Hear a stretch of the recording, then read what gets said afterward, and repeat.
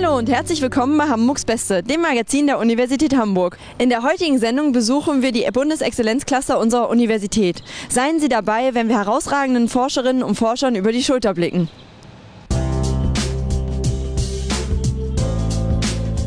Naturidylle inmitten der Stadt. Nicht nur die Pferde wissen die Futterwiese des Tierparks Hagenbeck in Stellingen zu schätzen.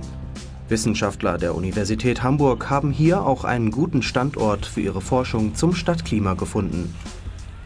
Die Messstation ist eine von insgesamt 18 Stück, die verteilt über das Stadtgebiet jede Menge Klimadaten erfassen und speichern. Hier wird alles Mögliche gemessen, was mit der Atmosphäre und dem Boden zu tun hat. Also zum einen Lufttemperatur und Luftfeuchte über diesen Sensor. Wir haben eine Niederschlagswippe. Äh, wir haben Windsensoren, um, um, Windgeschwindigkeit und Windrichtung zu messen. Oberflächentemperatur mit, dieser Infrarot, mit diesem Infrarotsensor. Ähm, solare Einstrahlung messen wir und das Ganze muss natürlich irgendwo gespeichert werden. Das sind große Daten, also einmal die Minute werden die Werte erfasst und dann werden sie in diesem Datenlogger hier gespeichert und äh, an uns übertragen. Zusätzlich gibt es Sensoren in der Erde, die den Feuchtigkeitsgehalt des Bodens in verschiedenen Tiefen messen. Dieser spielt eine wichtige Rolle für das Stadtklima, denn über feuchten Böden kühlt sich die Luft durch Verdunstung ab. Also wir wissen ja schon aus bisheriger Forschung und auch das erleben wir ja, dass Grünflächen eine, häufig ein angenehmes Mikroklima verursachen, aber es ist eben nicht so, dass jede Grünfläche das gleich ähm, machen kann. Und das ist die Forschungsfrage, das zu untersuchen, ähm, inwieweit eben unterschiedliche Wasserverfügbarkeit im Boden diese Abkühlungsfunktion beeinflusst. Um diesem Zusammenhang auf die Spur zu kommen, arbeiten Geowissenschaftler und Meteorologen gemeinsam an dem Projekt. Die interdisziplinäre Zusammenarbeit ermöglicht eine sehr praktisch orientierte Grundlagenforschung, deren Ergebnisse von großer Bedeutung für die zukünftige Stadtplanung sein können. Und wir haben zum Beispiel auch Mittel von der Leitstelle Klimaschutz erhalten für diese Forschung, weil ein Interesse der Stadt besteht, ähm, eben im Rahmen der Stadtplanung diese Abkühlungsfunktionen der Böden noch besser zu nutzen. Und da steckt auch die Frage dahinter, welche Böden sind eben besonders schützenswürdig in einer Stadt. Das Projekt zur Stadtklimaforschung ist Teil eines umfassenden Forschungsnetzwerkes namens CLISAP, das sich mit dem Thema Klima und den Folgen des Klimawandels auseinandersetzt. Dazu zählt beispielsweise auch die für Hamburg besonders wichtige Sturmflutforschung hier kann man zeigen, dass seit 1962 tatsächlich auch die Höhe der Sturmfluten beispielsweise im Vergleich zu Cuxhaven deutlich angestiegen ist. Die Frage ist jetzt, hängt das mit diesem globalen Klimawandel zusammen oder mit anderen Faktoren? Man kann sehr schön zeigen, dass hier auch äh, die baulichen Maßnahmen entlang des Flusses eine ganz große Rolle spielen bei diesem Anstieg der Sturmfluthöhe. Auch das Steigen der Meeresspiegel oder die Zunahme von Starkregenfällen wird in Hamburg von Meteorologen und Meereskundlern erforscht. Andere Disziplinen wie Sozial- und Wirtschaftswissenschaften beschäftigen sich mit den städtebaulichen und gesellschaftlichen Konsequenzen des Klimawandels. Die Gesamtheit der Forschungsprojekte zum Thema wird als Exzellenzcluster bezeichnet. Wir verstehen uns eigentlich so als eine Art Wissensbroker, die äh, versuchen zu zeigen, welche unterschiedlichen Auswirkungen der Klimawandel haben kann und welche verschiedenen Handlungsoptionen daraus abgeleitet werden können. Also es gibt nicht die eine richtige Lösung für den Klimaschutz und die Klimaanpassung. Wir versuchen das gemeinsam mit unseren Praxispartnern zu erforschen. Kennzeichnend für die Forschung im Exzellenzcluster ist dabei immer der fachübergreifende Ansatz, um die komplexen Fragestellungen rund um das Thema Klima beantworten zu können. Neben dem Kleisab gibt es an der Universität Hamburg noch ein anderes Exzellenzcluster, das Hamburg Center for Ultra First Imaging. Wir zeigen Ihnen jetzt, was es dort für spannende Forschungsprojekte gibt.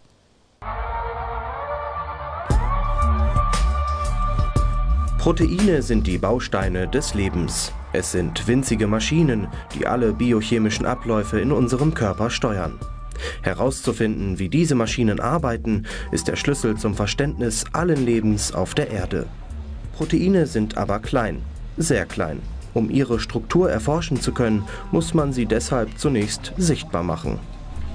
Der erste Schritt wäre zu untersuchen, wie die Proteine direkt aussehen. Und dazu verwenden wir die, eine Methode der Proteinkristallisation. Dazu ähm, bringt man im Prinzip die Proteine dazu, ein, eine geordnete Struktur, einen sogenannten Kristall. Das ist ähnlich wie ein Salzkristall. Ähm, so eine, eine Struktur auszubilden. Diesen Kristall kann man dann mit Röntgenstrahlen, wie sie hier in Hamburg am DESI Campus in, in äh, großer ja, Stärke vorhanden sind, ähm, besch letztendlich beschießen die Kristalle und dadurch kann man die Struktur aufklären. Beim Beschuss der Proteinkristalle mit hochenergetischer Röntgenstrahlung entsteht ein Streuungsbild, durch das am Rechner die Struktur des Proteins rekonstruiert werden kann. So lässt sich ein dreidimensionales Modell erstellen, das aber noch nichts über die Funktionsweise des Proteins aussagt. Ein Protein ist ja eigentlich nichts anderes als eine molekulare Maschine. Wenn man wissen, wie, wie eine Maschine funktioniert, dann bringt einem einzelnes Bild nichts. Man nimmt da immer als Analogie den, den Automotor. Ich verstehe auch nicht, wie ein Automotor funktioniert, wenn ich ein einzelnes Bild habe. Ich muss verschiedene Bilder haben, wo ich halt sehe, wie die, wie die Kolben und die Zylinder sich bewegen und so weiter. Proteine verändern sich in Sekundenbruchteilen. Um das sichtbar zu machen, müssen tausende Bilder pro Sekunde erstellt werden, die dann als Film verlangsamt abgespielt zeigen können, wie genau sich die Struktur verändert. Proteine in Bewegung zu erforschen, wird nur durch einen interdisziplinären wissenschaftlichen Zusammenschluss möglich. Wir arbeiten wirklich auf diesen Zwischenschnittpunkt zwischen Physik, Chemie und Biologie. Wir brauchen die physikalischen Methoden, um unsere biologischen Systeme anzuschauen und wir brauchen dann die Chemie, um zu verstehen, wie das alles zusammenpasst. Wissenschaftler dieser Disziplinen arbeiten in Hamburg in einem Exzellenzcluster namens CUI zusammen, dem Center for Ultrafast Imaging. Ihre Forschungsergebnisse können langfristig zum Beispiel helfen, wesentlich effektivere Medikamente ohne Nebenwirkungen zu entwickeln. Ich weiß nicht, ob Sie als Kind mitgespielt haben mit diesem Spielzeug. Man hätte so Loche mit verschiedenen Formen und man hat dann ähm, Blocken und man muss die richtige Block in richtige Loch reintun. Und genauso geht es bei uns. Wenn wir wissen, wie die Molekül aussieht, dann wissen wir die Form von der Loch, wo ein Medikament reinpassen muss und dann können wir eine, können wir ein passendes Medikament entwerfen und synthetisieren, das dann genau diese Molekül zusammenpasst. Bei der Forschung im QI geht es um die Echtzeitbeobachtung chemischer und physikalischer Prozesse auf atomarer Ebene. Lyrisch ausgedrückt also um die Suche nach dem, was die Welt im Innersten zusammenhält.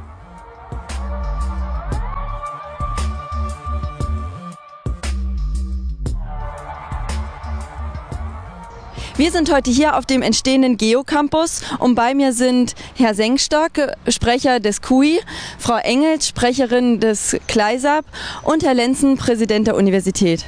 Herr Lenzen, was genau sind denn eigentlich Exzellenzcluster? Exzellenzcluster sind Verbindungen von Wissenschaftlern und Wissenschaftlerinnen, die dem Zweck dienen, wissenschaftliche Fragestellungen in einer großen Umgebung, sowohl personell als auch, wie wir ja auch sehen, äh, in einer zukunftsgerichteten ähm, Institution voranzutreiben, um große Fragen der Zukunft lösen zu können. Frau Engels, das Kleisab war das erste Exzellenzcluster der Uni Hamburg. Was zeichnet denn den Standort Hamburg für die Klimaforschung aus? Wir haben in Hamburg wirklich eine einzigartige Konstellation in der Klimaforschung. Wir haben eine ganz lang etablierte Zusammenarbeit zwischen der Universität und dem Max-Planck-Institut für Meteorologie, dem Deutschen Klimarechenzentrum und dem Institut für Küstenforschung äh, in Geesthacht. Und äh, wir haben die Exzellenzinitiative jetzt genutzt, um das auszuweiten, innerhalb der Universität neue Fächer hinzuzunehmen. Und Gleisab hat auch wesentlich dazu beigetragen, in Hamburg den Klimacampus Hamburg zu etablieren etablieren. Was sind denn die Herausforderungen, wenn viele verschiedene Fachbereiche eng zusammenarbeiten? Ja, wir decken ja wirklich das ganze Spektrum ab von der äh, modellierenden äh, Physik bis hin zu den äh, Geistes- und Sozialwissenschaften. Und da müssen Sie erstmal eine gemeinsame Sprache finden und lernen, sich gemeinsam zu, gegenseitig zu respektieren. Und an der Universität ist es dann sehr wichtig, dass man über diese Fächergrenzen hinweg wirklich ein Zuhause schafft, was darauf ausgerichtet ist, ganz systematisch diese Integration äh, und den Austausch sicherzustellen. Wir haben das Zentrum für Erdsystemforschung und Nachhaltigkeit gegründet und denken, dass das jetzt ein gutes Zuhause dafür ist. Herr Senkstock, auch im KUI sind ja viele verschiedene Bereiche zusammengeschlossen, vor allem auch externe Institute. Worin bestehen denn hier die besonderen Herausforderungen bei der Zusammenarbeit? Ja, bei uns in COI sind über 50 Forschungsgruppen und insgesamt über 200 Wissenschaftlerinnen und Wissenschaftler mit sehr, sehr unterschiedlicher Expertise, die zusammenkommen. Dementsprechend müssen auch wir eine gemeinsame Sprache finden, aber unsere Forscherinnen und Forscher kommen über die Projekte eigentlich sehr schnell zueinander. Insbesondere sind es gerade die jungen Leute, über die die Zusammenarbeit hervorragend funktioniert. Wir haben über 90 Promovierende im Cluster. Das bringt das Ganze inhaltlich zusammen und wir haben bei der Planung des Clusters natürlich besonders darauf geachtet, dass es thematisch sehr, sehr gut alles zusammenpasst. Welche Basis war denn am Forschungsstandort Hamburg für das Exzellenzcluster gegeben? Ja, in den letzten etwa 15 Jahren wurden sowohl dieser Bereich Laserphysik als auch der Bereich Nanostruktur, Physik und Chemie intensiv ausgebaut und gestärkt und gefördert. Und dadurch haben wir eine internationale Spitzenstellung inzwischen erreicht. Das geht nicht über Nacht, das muss man schon über viele Jahre aufbauen. Und wir haben im Vorfeld des Bundesexzellenzclusters bereits sehr viele Forschungsverbünde sehr erfolgreich gehabt. Dazu gehören die sogenannten graduierten Kollegs und auch ein sogenannter Sonderforschungsbereich der Deutschen Forschungsgemeinschaft, wo bereits über 20 Gruppen erfolgreich zusammen agiert haben. Herr Lenzen, welche Bedeutung haben denn Exzellenzcluster für die Universität Hamburg? Die Exzellenzcluster signalisieren nach außen zunächst einmal, dass an dieser Universität hervorragende Forschung gemacht wird in verschiedenen Gebieten. Sie schaffen für die Wissenschaftler die Möglichkeit, mit zum Teil gut auskömmlichen Ressourcen Forschungen zu machen, die sonst nicht möglich wären, weil das Geld ja von außen kommt, auch vom Bund. Und sie schaffen eine weitere Möglichkeit, interdisziplinär zu arbeiten, über die die Fächergrenzen hinweg, denn inzwischen ist es so, dass mit einem rein spezialisierten Fach die Probleme der Zukunft kaum noch gelöst werden können. Frau Engels, Herr Senkstock, wie sieht denn die Zukunftsplanung für Ihre Exzellenzcluster aus? Ja, wir sind ja hier gestartet mit der Klimaforschung und fragen nach dem Klimawandel. Klimawandel ist natürlich eingebettet in ganz viele andere naturräumliche Prozesse. Wir haben die Frage nach den äh, sozialwissenschaftlichen Klimaforschungen ausgeweitet auf äh, die, die Frage, was ist überhaupt gesellschaftliche nachhaltige Entwicklung. Und äh, wir denken, im nächsten Wettbewerb werden wir die Gutachter davon überzeugen können, dass wir genau in diesem Bereich sehr gut aufgestellt sind. Und bei Ihnen, Herr Senkstock? Ja, natürlich denken auch wir bereits jetzt intensiv an die Zukunft. Wir sind ja vor zweieinhalb Jahren mit unserem Cluster dementsprechend etwas jünger noch als der Klimacluster hier gestartet an der Universität gemeinsam mit unseren Partnern. Und wir möchten ebenfalls die Thematik erweitern, noch stärker gehen Physik, Chemie, Richtung Biologie, Richtung Medizin. Und dafür sind hervorragende Voraussetzungen hier in Hamburg geschaffen, gerade auf dem Forschungscampus in Bahnfeld, gemeinsam mit den Partnern DESI, der Max-Planck-Gesellschaft ähm, und auch dem sogenannten CSSB. Ja, vielen Dank. Und mit diesem Einblick in die Exzellenzforschung der Universität Hamburg verabschieden wir uns. Bis zum nächsten Mal.